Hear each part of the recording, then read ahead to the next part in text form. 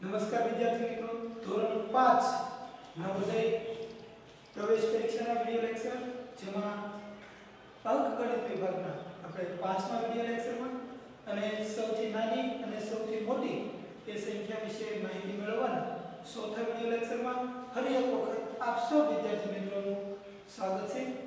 આગળ જોઈએ તો આપણે અગાઉના વર્ગ જે કે વિડિયો લેક્ચરો જોયેલા, એમાં આપણે સૌથી પહેલા વર્ગમાં એકી અને બેકી સંખ્યા વિશે માહિતી મેળવેલી ત્યાર પછી સૌથી નાની અને સૌથી મોટી સંખ્યા વિશે માહિતી મેળવેલી હવે આપ સૌને સમજાવવું છે કે ભાઈ સૌથી નાની સંખ્યા અને સૌથી મોટી સંખ્યામાં કઈ રીતે પ્રશ્નો પૂછાય એમાં પણ એક અંકની સૌથી નાની એક અંકની સૌથી નાની એકી સંખ્યા બે એક અંકની સૌથી મોટી એક અંકની સૌથી મોટી એકી સંખ્યા બરાબર છે એક અંકની સૌથી મોટી બેકી સંખ્યા આમ જુદા જુદા એક અંકની સંખ્યામાંથી સો પ્રશ્નો પૂછાઈ શકે એ જ રીતે બે અંકની સંખ્યામાંથી સો પ્રશ્નો પૂછાઈ શકે ત્રણ અંકની સંખ્યામાંથી છ પ્રશ્નો પૂછાઈ શકે ચાર પાંચ એમ બધામાંથી સો સો પ્રશ્નો સાવ સરળ અને પૂછાય એવા પ્રશ્નો આપણે જોઈએ ત્યાર પછી આપણે તમને એવું કીધેલું ભાઈ તમારે પાંચ છ સાત આઠ અંકની સંખ્યાઓ વિશે જાતે અવલોકન કરી લેવાનું કે એમાં શું જવાબ આવતો હોય અને કેવા પ્રશ્નો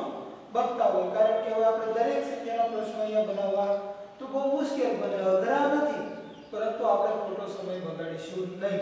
બરાબર છે? હવે આગળ જોઈએ તો આપણે એટલું હવે સ્પષ્ટ સમજી લઈએ કે જ્યારે આપણને સૌથી નાની સંખ્યા અને સૌથી મોટી સંખ્યા પૂછે, એમાં એકી સંખ્યા કે બેકી સંખ્યા કોઈ શબ્દ ન હોય, માત્ર ને માત્ર એટલો શબ્દ હોય કે સૌથી નાની સંખ્યા અને સૌથી મોટી સંખ્યા. ત્યારે આપણે યાદ રાખવાનું કે એક અંકની અથવા તો એક અંકી સૌથી નાની સંખ્યા કઈ તો કે 1 એક અંકની સૌથી નાની એક દ્વિઅંકી તો તમે બધા તરત જ કહેશો કે દ્વિઅંકી સૌથી નાની 10 ત્રિઅંકી તો તમે બધા તરત કહેશો કે 100 ચાર અંક વાળી એટલે કે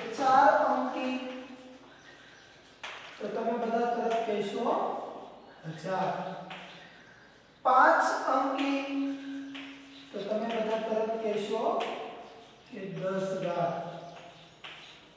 ત્યાર પછી પૂછવામાં આવે છ અંકી તો તમે બધા તરત કહેશો કે 1 લાખ તો વિદ્યાર્થી મિત્રો તમને સમજાવવું હશે કે જ્યારે આપણને નાની સંખ્યા પૂછે ત્યારે એક અંકની કે એટલે ખાલી એક એકડો બે અંકની સૌથી નાની કે એક એકડો ને કેટલા અંકો ઘટે? બે અંકમાં તો કે એક અંક ઘટે. એટલે એક મીઠું ત્રણ અંકની સૌથી નાની કે ત્યારે સૌથી પહેલા એકડો તો મૂકી દેવાનો. પછી ત્રણ અંક માટે કેટલા અંકો ઘટે? તો બે એટલે બે મીંડા. ચાર અંકની સૌથી નાની કે ત્યારે એક એકડો ને ત્રણ મીંડા. ત્યાર પછી પાંચ અંકની સૌથી નાની કે ત્યારે એક એકડો ને ચાર શૂન્ય. અને છ અંકની સૌથી નાની કે ત્યારે એક એકડો અને સાથે પાંચ શૂન્ય. બરાબર છે? આ રીતે ક્રમશઃ તમને 4 8 9 જે કાંઈ અંકને કે એટલે તમારે સમજી લેવાનું રહેશે. ત્યાર પછી આપણે જોઈએ સૌથી મોટી સંખ્યા. સૌ સરળ છે, આપ સૌને હવે સમજાતું હશે. બરાબર છે? તો આપણે વાત કરીએ, એક અંકની સૌથી મોટી સંખ્યા એટલે નવડો 1 1 9 બરાબર છે? સૌથી મોટા કોણ એક અંકમાં? તો કે 9 બે અંકની સૌથી મોટી સંખ્યા તો કે ભાઈ 99 એટલે બે નવડા યાદ રાખતા રહેજો. 3 અંકની સૌથી મોટી સંખ્યા એટલે ત્રણ નવડા અને 999 ચાર અંકની સૌથી મોટી સંખ્યા એટલે ચાર નવડા 9999 એટલે 9999 ત્યાર પછી પાંચ અંકની સૌથી મોટી સંખ્યા એટલે પાંચ નવડા.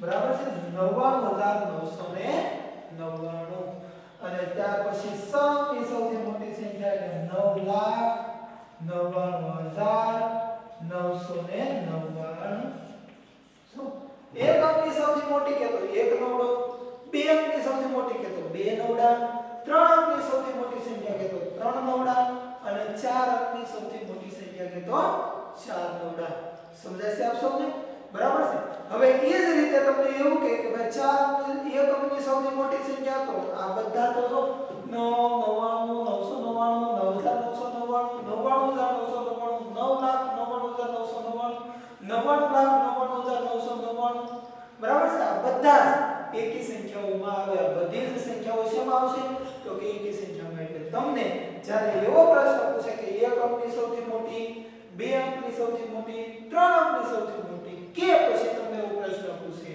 કે એક અંકની સૌથી મોટી એકી બે અંકની સૌથી મોટી એકી ત્રણ અંકની સૌથી મોટી એકી અને ચાર અંકની સૌથી મોટી એકી સંખ્યા. કઈ? તો પણ આપણે મૂંઝાયા વગર શું કરવાનું તો કે જેટલા અંકની મોટી સંખ્યા કીધી હોય એટલા નવડા લખી નાખવાના.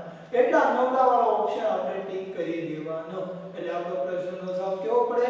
સાચો. કોઈ પણ સમજો કોઈ આપણો પ્રશ્નનો જવાબ ખોટો પડે નહીં. યાદ રહેશે?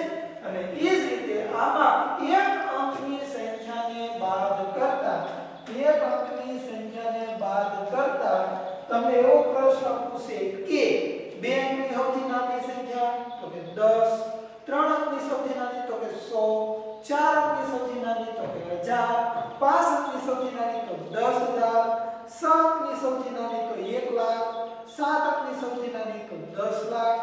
બરાબર છે? આ 10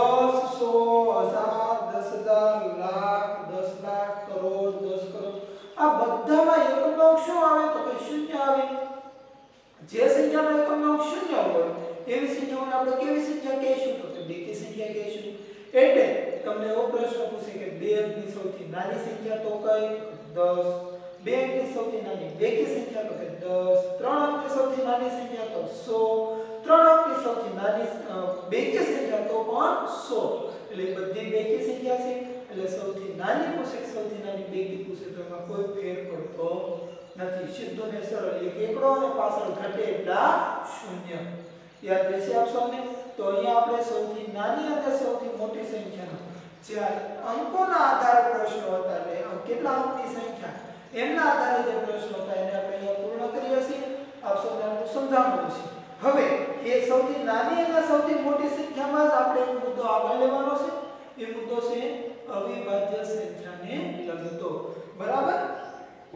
હવે, અવિભાજ્ય સંખ્યાને લગતો આપણે આ જે અહીંયા લખ્યું હતું મેં એ તમે પાકીટમાં વ્યવસ્થિત રીતે લખી નાખજો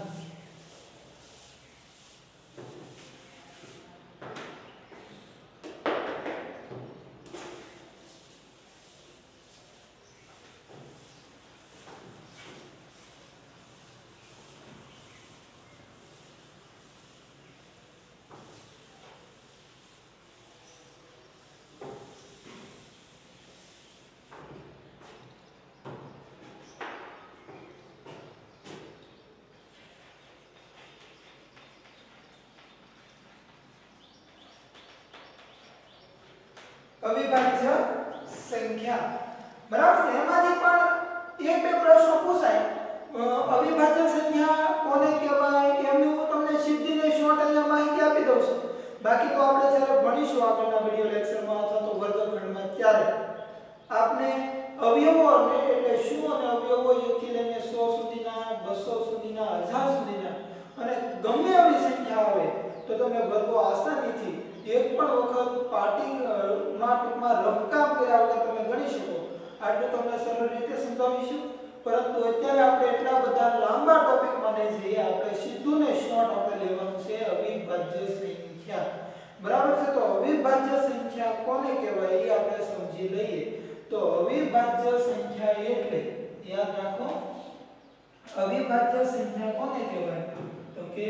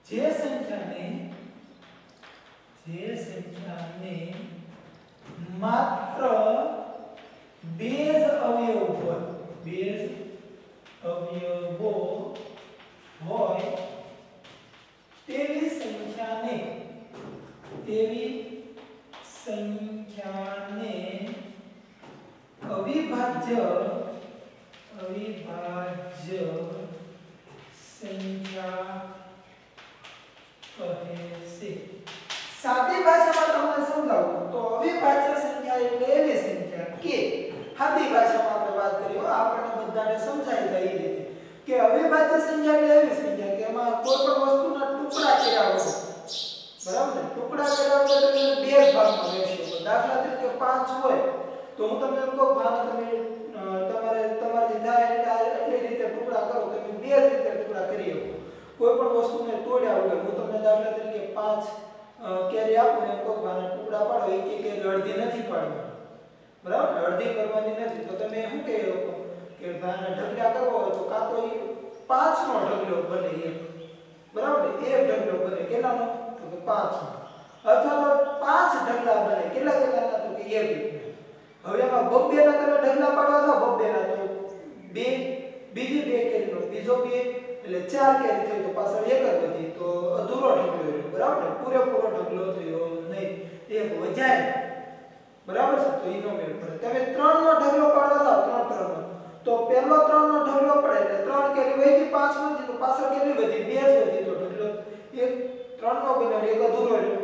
ઈ પણ નો આવે. બરાબર? તમે ચાર ચાર નો ઢગલા પાડવા જાઓ. એક ચાર નો ઢગલો બને પણ એક કેવો રહે એટલે બે જ રીતે ઢગલાના પૂરા થાય. એક પાંચે પાંચ નો એક ઢગલો કરી દો. અથવા તો એક એક કેરીનો એક ઢગલો કરો. હે? બે જ રીતેના ભાગ પડે. કટકા કર્યા વગરની વાત છે. યાદ રહેશે બધાને? એમાં ટુકડો પાડવાની વાત નથી, નકર તો અઢી અઢી ના પડી જાય. બરાબર ને? બે ટુકડા પડી, એવી વાત નથી. તો અવિભાજ્ય સંખ્યાઓ એટલે એવી સંખ્યાઓ કે એમાં બે જ અવયવો આવે અને બે જ રીતે ભાગ પાડી કેવા? એ ભાગ કેવા? તો કે ભાઈ ટુકડા કર્યા વગરના બરાબર છે બીજી એક પણ રીતે તમે ભાગ પાડી શકો નહીં એવી સંખ્યાઓને અવિભાજ્ય સંખ્યાઓ કહેવાય દાખલા તરીકે 7 સાતના તમારે ઢગલા પાડવા હોય તો કાં તો એક એક કેરીના સાત ઢગલા થાય અથવા તો સાત કેરીનો એક હારે એક મોટો ઢગલો થાય આના સિવાય તમારી પાસે બીજો કોઈ ઓપ્શન ન વધે તમે એમ ન કહીએ કે બબે બબે ના ઢગલા કરો તો બબે બબે ના ઢગલા કરવા જાઓ સાત ના બરાબર છે સાત કેરીના બબે બબે ના ઢગલા કરવા જાઓ તો એક ઢગલો આ બીજો આ ત્રીજો તો સ કેરી તો વહી ગયું બધી કેટલી એક જ બધી તો હરખા હરખા ઢગલા ચાલી બબે બબે ના અધૂરો ઢગલો રહ્યો. અધૂરો ઢગલો રાખવાનો નથી બરાબર આના કટકા કરીને બધા વાર ખ્યાલથી બેસી દેવાની નથી બે વડે તો કાંઈ બે બબે બબે કેરીના ઢગલા જાતો કે નો છે ત્રણ ત્રણ ના કરવા દો તો જો એક બે ને ત્રણ એક બે ને ત્રણ બે ઢગલા ચાર પાછળ એક વધી પેલા ઢગલા નો પડ્યા ત્રણ ત્રણ ના ઢગલા પડ્યા નહીં તો ચાર ચાર ના પાડવા તો ચાર ના ત્રણ હાથ એક ઢગલો આખો પડે ને એક અડધો પડે હિદાય પાંચ પાંચ ના પાડવા તો એક ઢગલો પાંચ નો આખો પડે ને પાછળ બે વધી છ છ ના પાડવા તો એક ઢગલો થાય ને એક માંથી એક જ વધે એટલે મેળ પડે નહીં તો આવી જે સંખ્યાઓ છે એને કેવી સંખ્યાઓ કહેવાય અવિભાજ્ય સંખ્યાઓ કહેવાય કે એમાં બે ઢગલા થાય બીજો ઢગલો થાય નહીં બરાબર ને ઢગલા અ, તમે વધારે કરી શકો, પણ એ ઢગલા કેવા રહે? અધૂરા અધૂરા ઢગલાને આપણે ગણતા નથી. અધૂરા ઢગલા રહે તો એ ભાગ પડ્યો કહેવાય નહીં હરકત બાધણ બરાબર ને? ઝઘડો થાય એકબીજા વચ્ચે. કે તું વધારે ખાઈ ગયો મને ઓછું મળ્યું એવું નહીં કરવાનું. હરખા ભાગે બેસવાની વાત બરાબર છે? તો તો કા એ એક હોય તો એકનો આખો ઢગલો થાય. કાં તો જે જે સંખ્યા હોય એ મુજબના એક એક ના થાય. બરાબર છે? તો આ સૌને સાદી ભાષામાં સમજાવવાનું છે? આગળ હવે આપણે એને સમજવાનો પ્રયત્ન કરીએ. અને એ સમજવા માટે સૌથી પહેલો આપણે શબ્દ સમજવો પડે એમાં અવયવ. બરાબર છે? તો જે સંખ્યાને માત્ર બે જ અવયવો હોય, એટલે આપણે એક શબ્દ સમજી લેવો પડે અવયવ. અવયવ એટલે શું? બરાબર? તો અવયવ વિશે આપણે માહિતી મેળવીએ.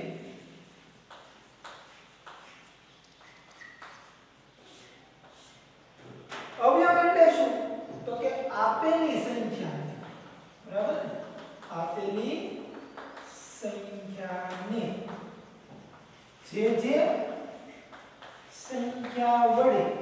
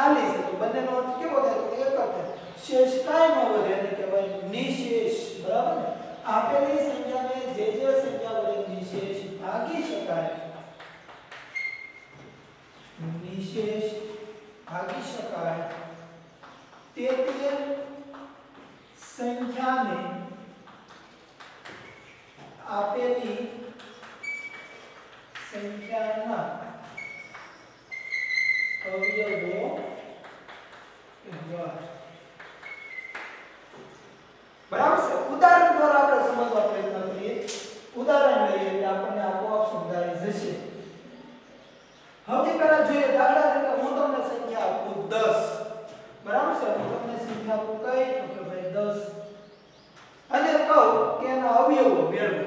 તો 10 ને કોના કોના વડે નિશ્ચિત ભાગી શકાય? તો ભાઈ સૌથી પહેલા 10 ને 1 વડે ભાગો તો 10 ભાગ્યા 1 તો તરત તમને ખબર પડે કે એક દાન 10 જો શેષ કેટલી વધી? શૂન્ય વધી?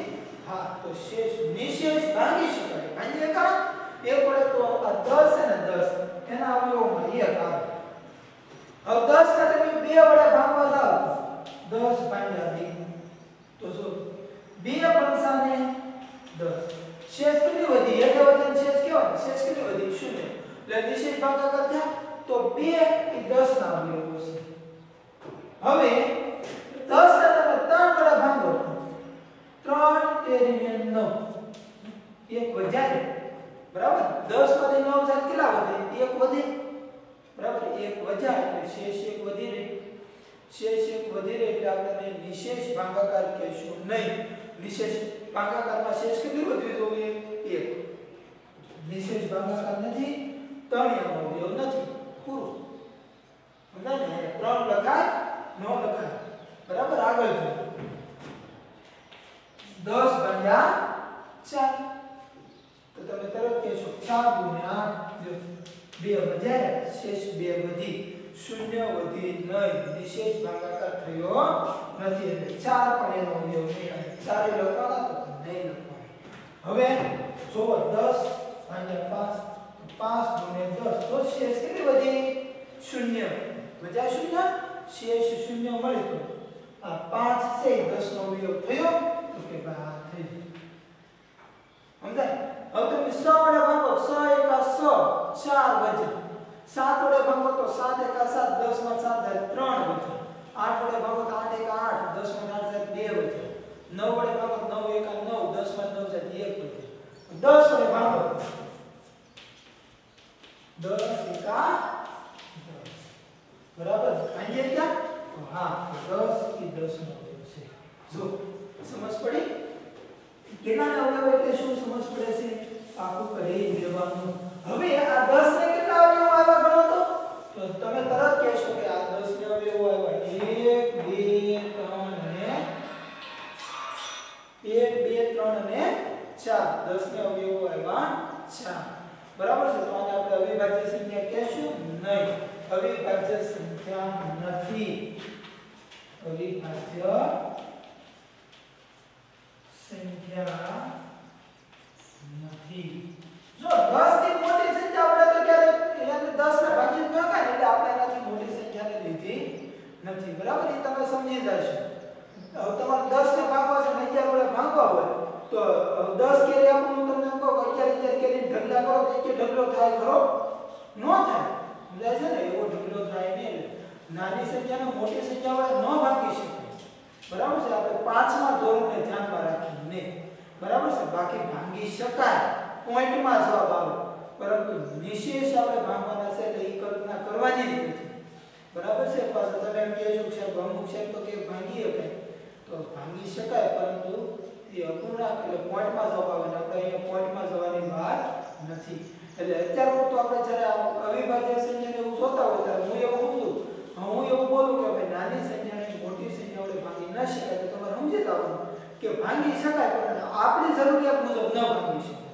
સમજાય છે ને આપણે જે નિશ્ચિત ભાગાકાર કરવા પ્રયત્ન કરવો છે એ રીતે ન થાય બરાબર છે યાદ રહેશે બધાને આપણે બીજી એક સંખ્યાના અવયવો મેળવીએ એટલે આપણને બધાને વધારે સમજાય દાખલા તરીકે હું મેળવું એવું 8 બરાબર છે તો 8 ને 1 વડે ભાંગી શકાય તો 8 ભાગ્યા 1 કરો 8 ભાગ્યા 1 એટલે 1 અઠાને 8 જો શેષ શૂન્ય વધી તો હા એક વડે ભાગી શકાય એટલે 1 એ 8 નો અવયવ છે બરાબર?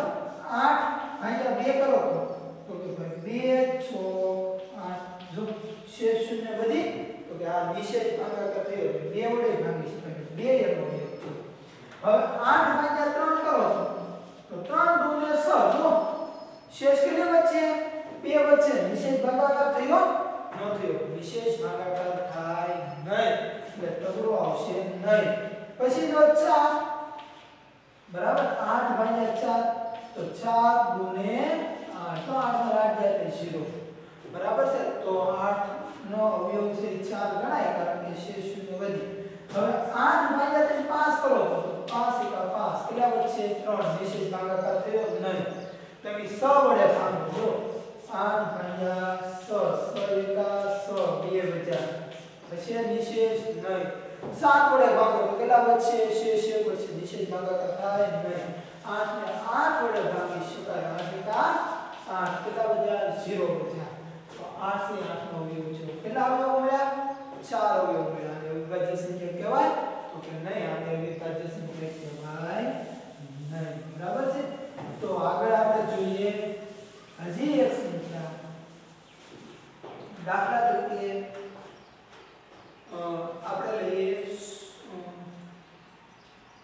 વીસ લઈએ વીસ બરાબર છે જેથી કરીને એટલા માટે વીસ વિચારી લીધા કે નહીતર આપણે બે સંખ્યા છે ને બે માં ચાર ચાર અવયવો જ આવ્યા તમને એવું થઈ જાય કે આમાં બધા ચાર જ અવયવો આવતા છે ના એવું જરૂરી નથી કે ચાર જ અવયવો આવે ચારથી વધારે પણ અવયવો આવી શકે છે તો 20 ના અવયવો જોઈએ ને એક વડે ભાગીએ એટલે એક વડે ભાગીએ છે શૂન્ય વચ્ચે એક વિશે વીસ બે દાન વીસ જો બે વડે ભાગીએ એટલે પછી ત્રણ વડે ન ભાગીએ એટલે ત્રણ ના ઘડિયા વીસ નો આવે.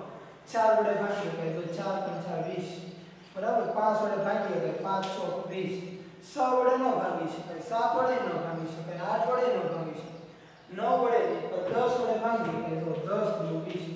હવે છે અડધી સંખ્યા થાય ને પછી છે છેલ્લી સંખ્યા ભાગી બીજી ક્યાંય ન ભાગી એટલે વીસ નહીં આટલી સંખ્યા વડે જ નિશ્ચિત ભાગી શકાય તો આટલા એના અવયવો થયા બરાબર છે હવે તો આ બધી સંખ્યામાં આપણે જોયું કે બે થી વધારે અવયવો હતા કેટલા અવયવો હતા તો કે બે થી વધારે અવયવો હતા બરાબર આગળ આપણે સમજીએ બે થી વધારે અવયવો હોય ત્યારે એને આપણે અવિભાજ્ય સંખ્યા ન કહી શકીએ અને કેવી સંખ્યા કહેવાય તો કે અવિભાજ્ય સંખ્યા નો એની બધી વિભાજ્ય સંખ્યા હોય એક અપવાદ એકડો છે બરાબર એક એક વિશિષ્ટ સંખ્યા છે કારણ કે એને બે અવયવો નથી અને અ, બે થી વધારે પણ નથી બે ફીટ અવયવો હોય તો આપણે અવિભાજ્ય સંખ્યા કહીએ બે થી વધારે હોય તો આપણે એને વિભાજ્ય સંખ્યા કહીએ પણ બે થી ઓછા હોય તો એટલે એને વિશિષ્ટ સંખ્યા કહીએ એટલે એકડો છે એ વિશિષ્ટ સંખ્યા છે સમજાય છે બધાને યાદ રાખી લેજો હા તો આપણે અવિભાજ્ય સંખ્યા વિશે અ,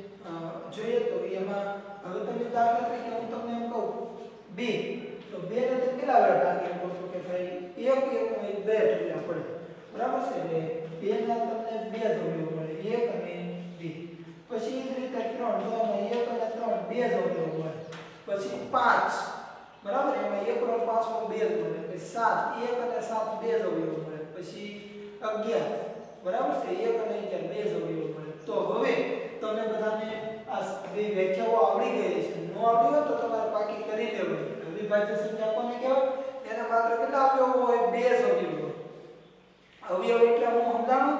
તો કે અવયવ એટલે આપેલી સંખ્યાને જેના જેના આપણે નિષેધ માંગી શકો. તે તે સંખ્યા આપેલી સંખ્યા અવયવ કહેવાય. અને એમાં શબ્દ આવ્યો તો નિશેષ નિશેષ એટલે હું?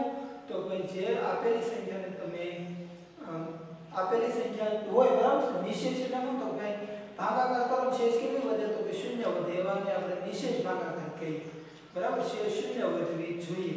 તો એ ભાગાકાર નિશેષ ભાગાકાર કહેવાય. એટલો ઓપ્શનને સમજાવવું છે બરાબર છે? આપણે ફરી પાછા હવે આગળ, આ જ મુદ્દાને આગળ વધારતા આપણે જ્યારે બીજો વિડિયો લેક્ચર આવશે ત્યારે આપણે સૌ જોઈશું કે અવિભાજ્ય સંખ્યાઓ 1 થી લઈને 100 સુધીમાં કેટલી છે?